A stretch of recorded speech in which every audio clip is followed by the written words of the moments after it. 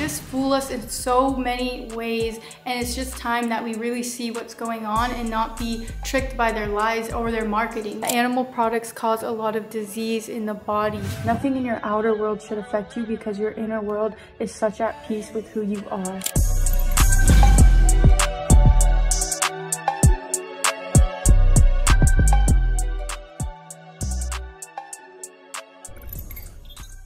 My friend Ruslan wants to start a raw vegan cooking channel on YouTube with me. So he's coming over today and we're gonna film some recipes. And this just came at the perfect time because like I was telling you guys, I wanna start incorporating more raw foods into my diet. But when I was going online and finding recipes, it was a lot of foods that I don't like. So I was like, okay, I don't think I'm gonna be able to eat raw yet. I'm gonna hold off on that and wait till I start to like more foods. But with Ruslan wanting to start this channel with me, it's just going to give me that little push to start eating this food. And also Ruslan eats a lot of raw food that I do like because when I've hung out with him, I always try his food and I'm like, oh, I actually like this, but I just don't know how to make it myself. So with him wanting to do this channel, it's gonna help me learn how to make the foods that I do like. And then by eating more raw foods, uh, my taste buds are gonna start changing and then I'll start to like more foods that I'm currently not liking now. So as we are teaching you guys these recipes, I'm also gonna be learning right there with you guys. And today is the first first day of spring, so everything is just so aligned. Everything is coming at the perfect time. And I also learned that um, springtime is the perfect time to detox. And when you're eating more raw foods, you are allowing your body to detox a lot better. But I'm so excited to start this today and just start this new journey into eating more raw food.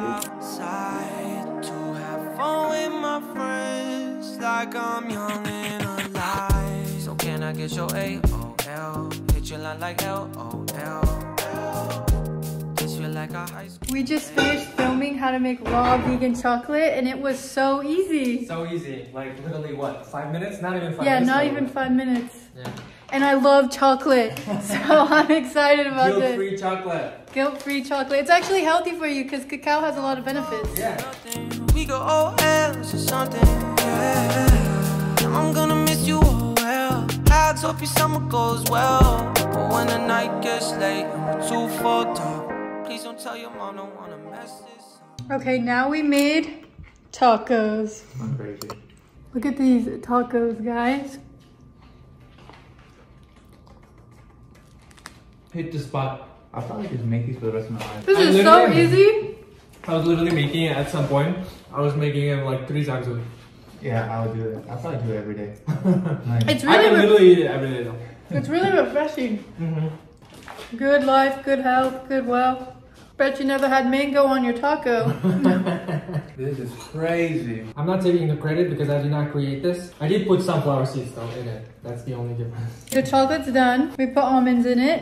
My friends made this. And it's healthy. That's so crazy. All this stuff is healthy.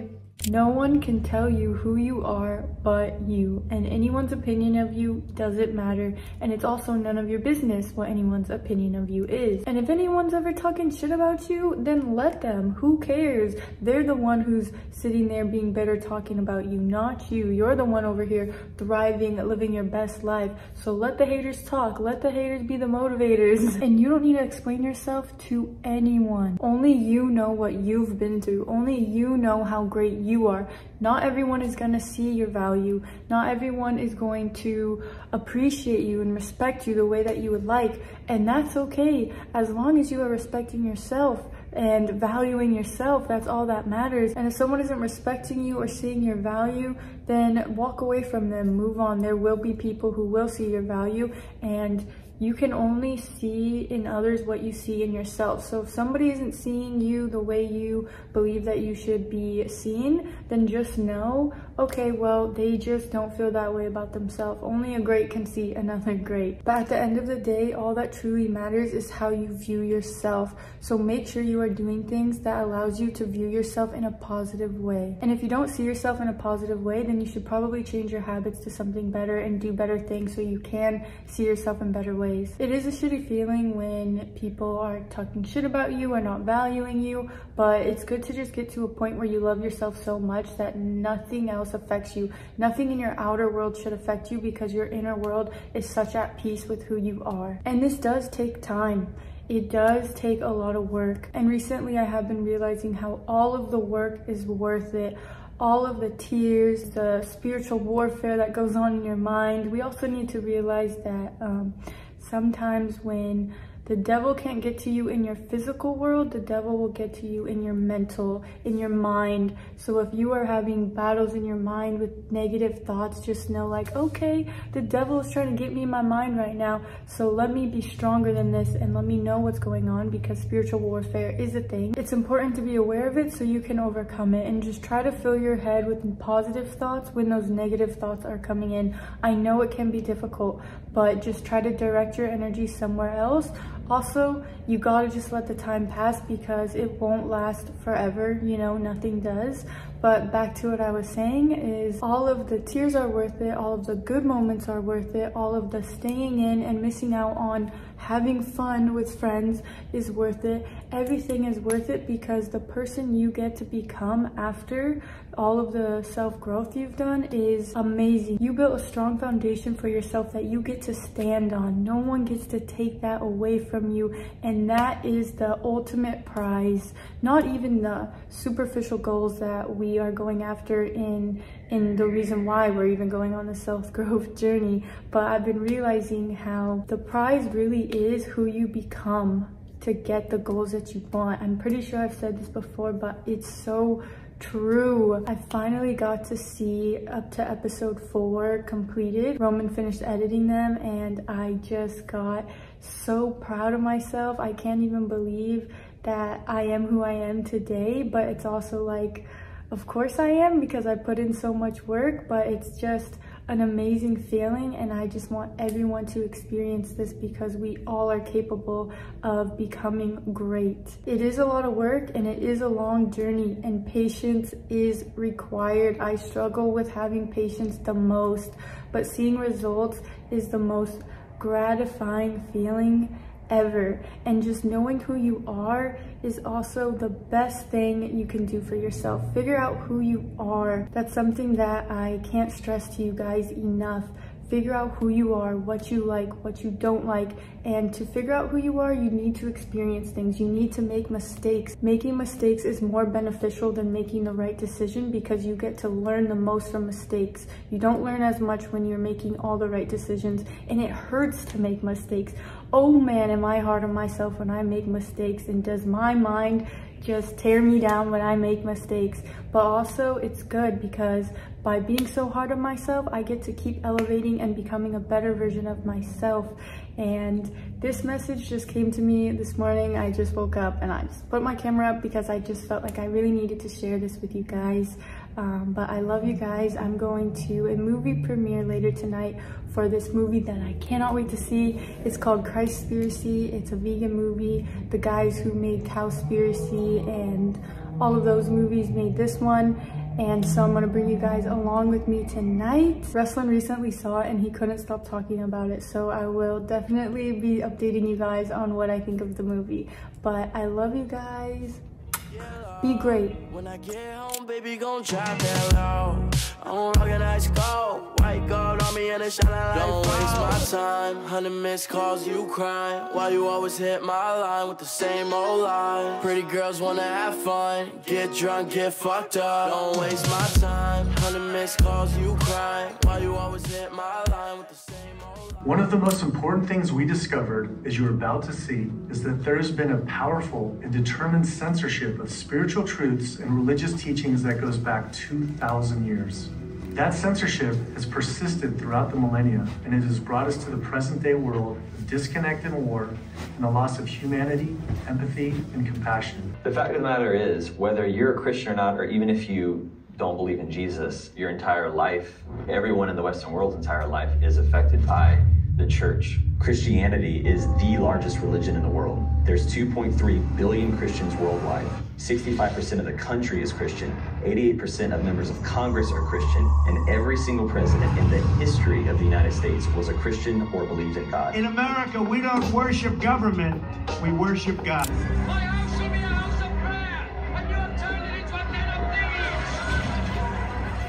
And of course, it had momentous consequences. It was that act that precipitated, especially, if not exclusively, his trial and his execution. Wow.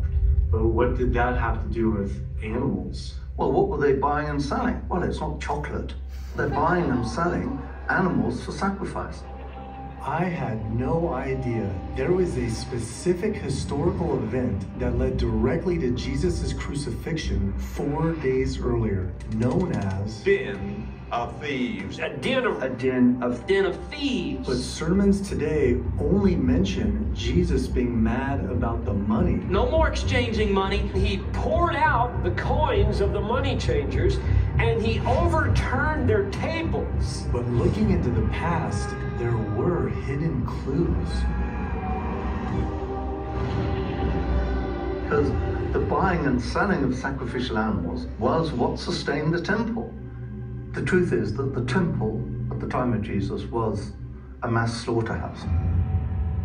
It was hard to believe one of the world's most sacred temples for all Western religions was a slaughterhouse. Yet historical records do show millions of animals being sacrificed and priests wading up to their knees in blood. The truth of the story is Jesus Christ was striking at the root of all there is that is evil, of oppression of people, of the construct of war, in one fell swoop. He was crucified for disrupting the culture of the time, which was killing animals for profit and eating them for food.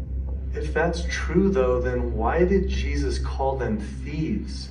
And he turned over their tables. He cried out, You've made my father's house a den of thieves.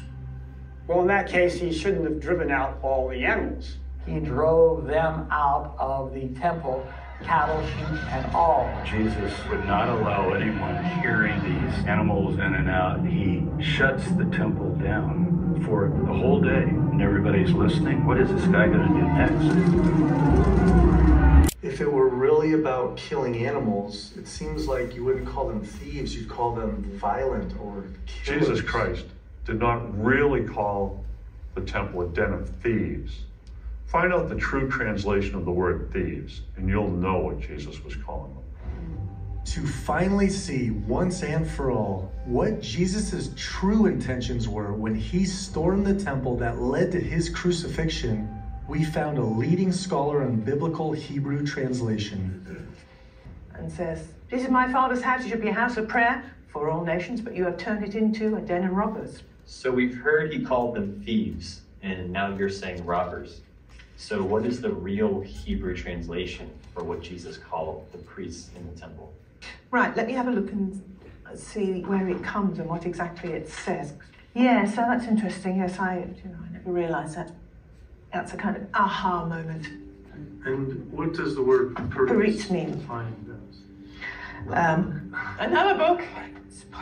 Well, we'll have to look up paritz in the Hebrew dictionary as well. Paritz, yes. A violent one. And that's what he called the priests doing the sacrifice? Yeah. So it's the killing then? Hmm. Yes. Ferocious, apparently.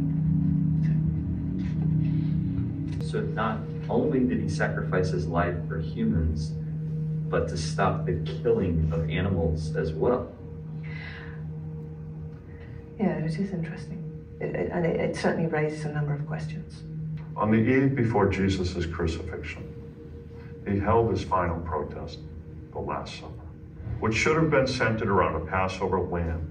In the Ebionite Gospel, Jesus specifically rejected eating meat at the Passover. Jesus says, I've come to destroy the sacrifices, and if you do not cease from sacrificing, wrath will not cease from you. He says, This is my meat, this bread, and this wine is my blood, so to speak. Meaning, this is all we need. We don't need the lamb. You know, if we look close enough, we can see the hints in paintings in scripture. It's just that it's easier to cover up the truth than to talk about it.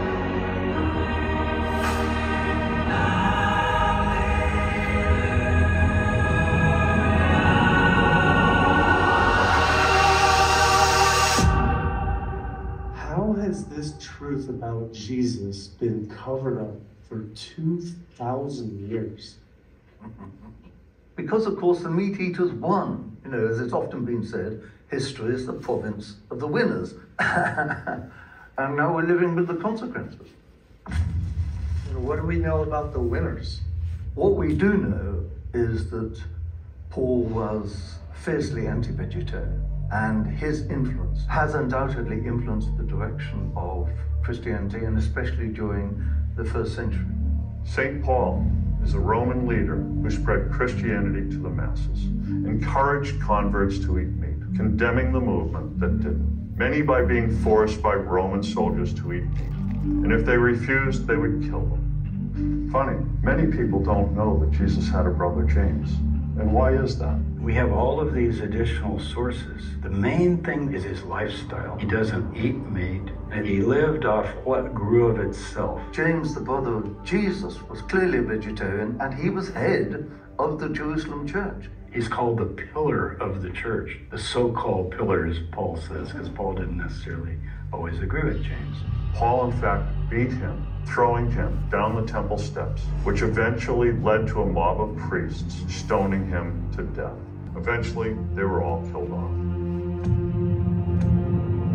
Over the argument of the consumption of animals. Only years after their leader, Jesus, was crucified as a terrorist.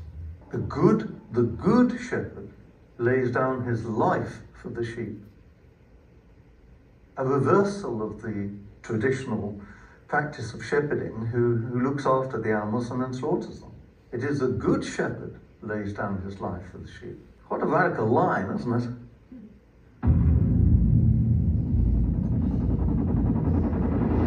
If Jesus was walking the earth now, the way he did, and for what he did, today, what do you think he'd be doing? Is there a right way to kill a beast?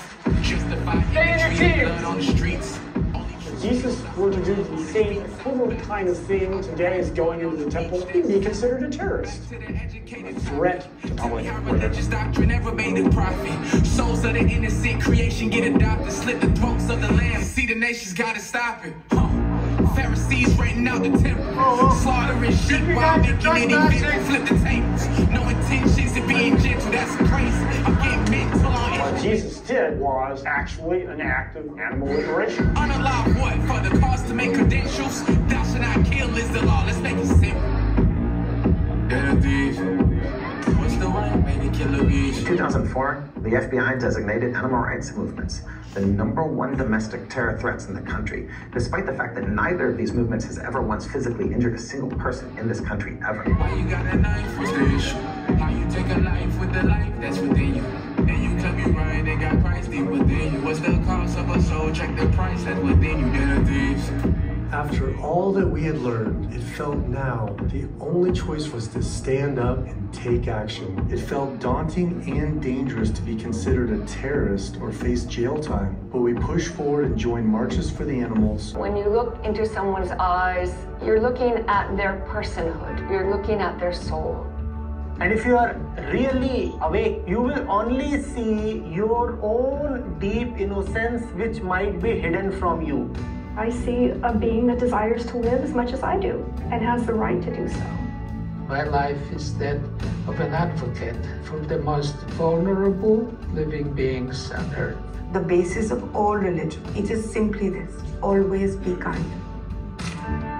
Along this journey, I felt at times as if I was moving away from my faith. But what I now realize is that all the while I was actually moving closer to what it really means to be a Christ follower. And the one thing that unites all religions and spiritual traditions at the root is compassion for all beings. See, animals are not just beings, they have an anima, a life. They do something fundamentally spiritually important for us, and that is to take us out of ourselves, to give us a sense of wonder and awe of the universe, to see beyond the natural world to the spirit moving within it, with which one can connect, with which one can have a relationship, which can indeed mediate the grace of God. Is that what you mean by spirituality? We're actually speaking about a moment in which everyone sees that. That same spark of divinity is in all beings. whether they're winged or four-legged, or whether they're swimming in the sea.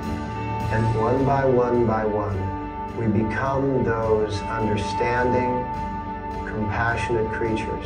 And we create a gigantic game of tag around the world.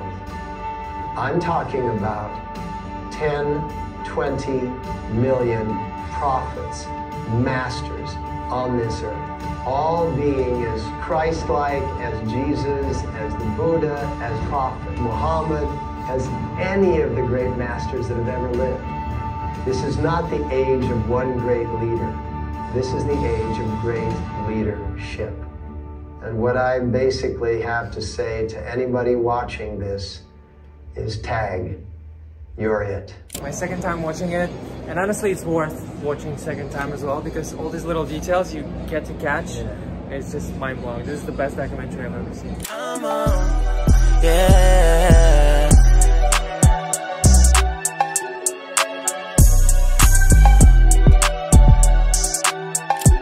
Yeah. Kameron Waters, everyone! Come on, make some noise! Thank you all so much for coming out and spreading the good word and just being all who you all are. To break the ice, though, I have one question. Would Jesus eat the homies? no! we just did Piers Morgan this morning. Oh.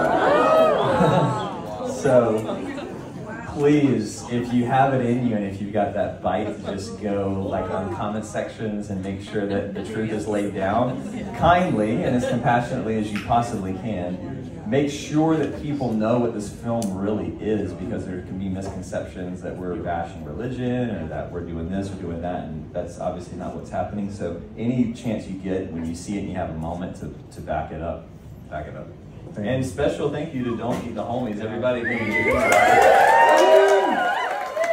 So first off, that movie was so good. I recommend you guys checking it out. It was very eye-opening. I wanted to share with you guys some of the reasons why I don't eat meat that's not for the ethical reasons. So first things first, if you look at our anatomy, our body is not designed to consume meat. We don't have sharp claws or sharp canines that allows us to tear into flesh like other animals do. And in order for us to go hunt down these animals, we have to make tools outside of ourselves to do so. While nature gives certain animals like a lion teeth and uh, claws to hunt down these animals naturally. Also, our intestines in our body are way too long for meat to go through them, whereas a lion has a lot shorter intestines, so the meat can go through a lot quicker. Meat also takes two days to process through our body, and the hyaluronic acid that's in our stomach isn't hot enough to break down the complex proteins that's in meat, which is why it takes so long for meat to process. We want to eat to cleanse, not to clog. And when meat is taking so long to get broken down, it is rotting and fermenting in your gut, which creates a belly. We like to call it fat, but really you're just full of shit.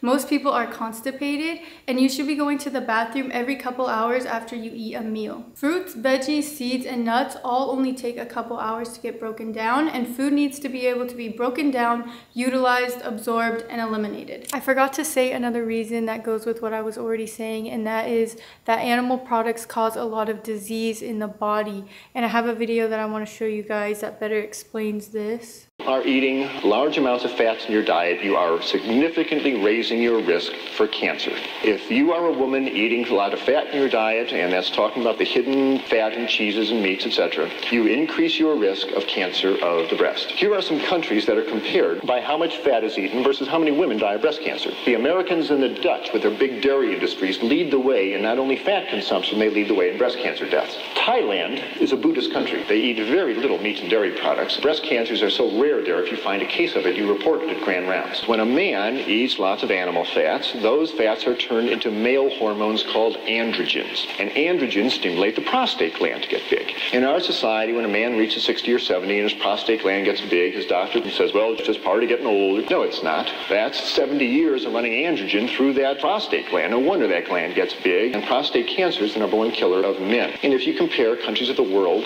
versus how much fat is eaten and how much men die of prostate prostate cancer sorts out just the same way. The more fat that is eaten in the country, the more the men die of prostate cancer. And again, it's a very rare disease in Thailand where people eat rice and vegetables and traditional foods. Animal fats. They clog you up, they make you fat, and they increase your risk for a number of types of cancers. Now, I'm describing problems with eating animal flesh, and that includes chicken and fish. Fish has a tremendous amount of fat and cholesterol in it, and chicken flesh is very fatty food. Don't kid yourself that chicken is lean meat. It is not. There's just as much fat and cholesterol in chicken as there is in beef. Animal muscle is animal muscle. And when you eat it, it raises the level of fat in your blood. There's another problem with eating animal flesh.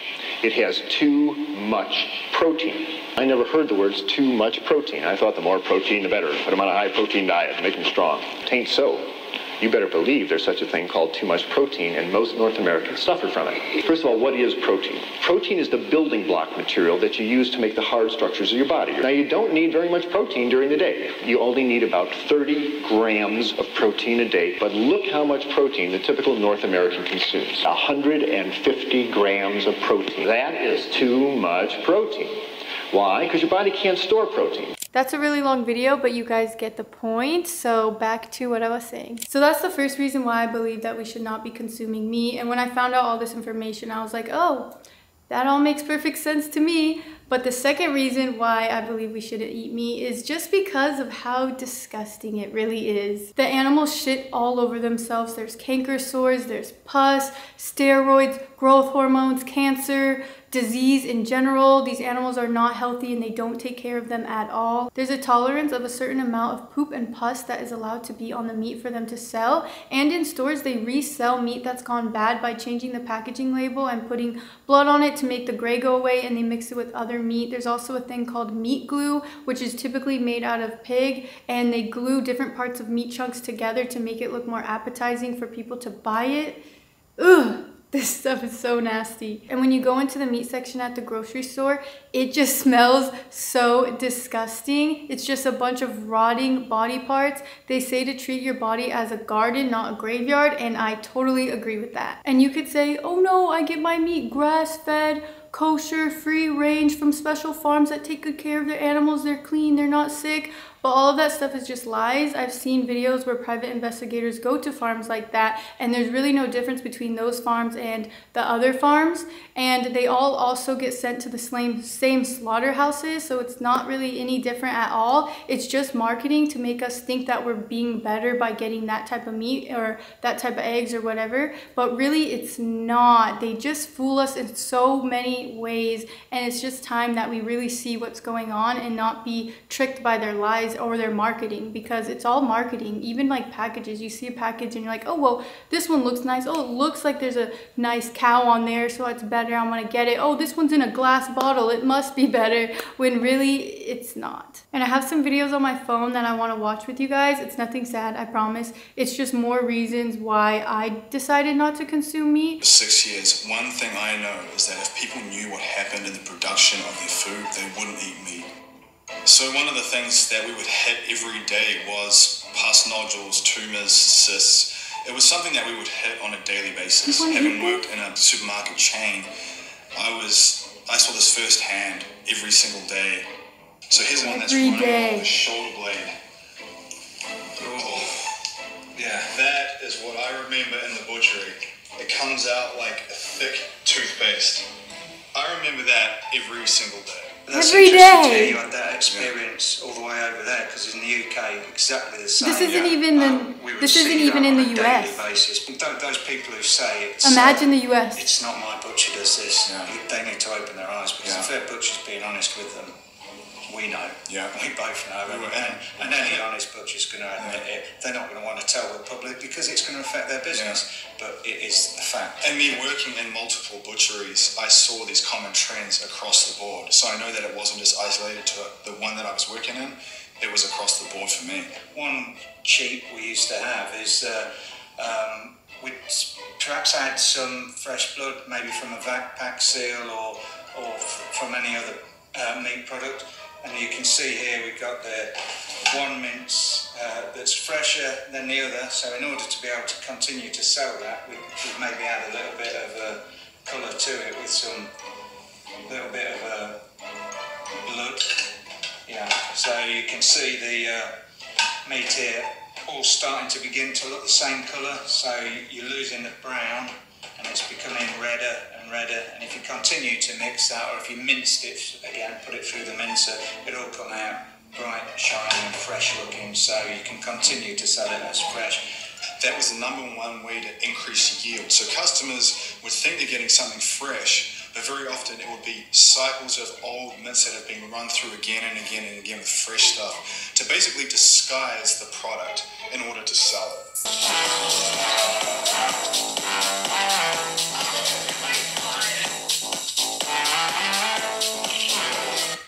Yum yum. Ugh. Here's another video.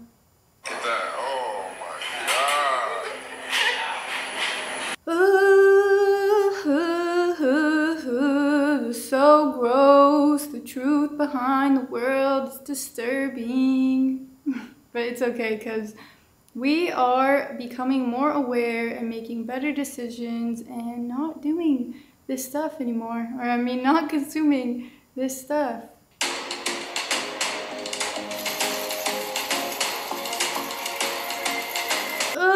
First of all, that poor cow going through that pain with no painkillers, just slitting it open and letting all that come out. Second of all, that's the animal then that people are eating. That sick animal who has all of this stuff wrong with his body. This stuff is just really gross and I didn't always know about it my whole life but once I found out about it I decided like I don't want to eat that stuff anymore and that's why I just wanted to share with you guys this stuff because I know maybe not all of us are aware of it and then maybe some of us are and if you are it's your decision on what you want to do but this is just some of my thoughts and I just think that that stuff is really gross and I don't think that it's cool that the media and these companies use marketing to fool us into thinking that things are what they are not. So I just want to spread awareness on this because I wish I would have found out earlier in my life so I could eat better and not eat that because it just truly is very disgusting. Another reason why I decided I don't want to consume meat is I found out that they make people who are in prison watch, meaning they were in prison but they're out of it now and they're just on like house watch, that they make them work in the slaughterhouses and if they decide that they don't want to do it, they put them back in prison. And they also make people from Mexico work in these slaughterhouses and pays them 49 cents an hour. And these people get PTSD, uh, trauma, nightmares and then they go home to their families and since they were in such like a toxic environment all day at work literally killing they go and treat their families bad. So they beat their wives they beat their children and i just think that that's really unfair and i think that the people who are in power above really take advantage of these innocent people and i don't agree with that and i don't want to support it and most of the time these slaughterhouses are by poor communities and all of the waste from the slaughterhouses are going into these neighborhoods the air is toxic and these people are less fortunate and they can't afford to go live in a better community, a better environment. And I just don't think that's fair at all. And the last reason why I decided to not consume meat is thou shalt not kill. God didn't say, thou shalt not kill humans. He said, thou shalt not kill in general. And someone in the movie had said something that really stood out to me, and it was, if we're able to go to heaven after killing trillions of animals every year, then what does it take to go to hell? And that was like, dang, that is so true. Like the standards are low, huh? We need to evolve the way we do things on this earth as we have the resources to do so. Death should never be the answer. I could go on and on all day about why I don't consume meat, but I'm gonna try to keep this as short as possible. But I love you guys and I'll see you in the next episode.